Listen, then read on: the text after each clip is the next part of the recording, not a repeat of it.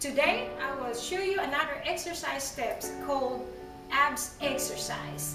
Let me show you.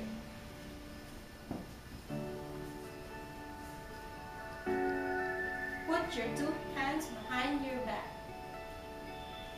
Put your legs straight, look up, and here we go. One, two, three,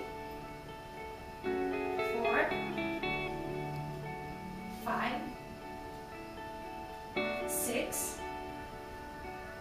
seven, eight, nine, ten. Put your legs up, down, down, down, and hold it there. Maybe 20 seconds until you feel your abs is shaking.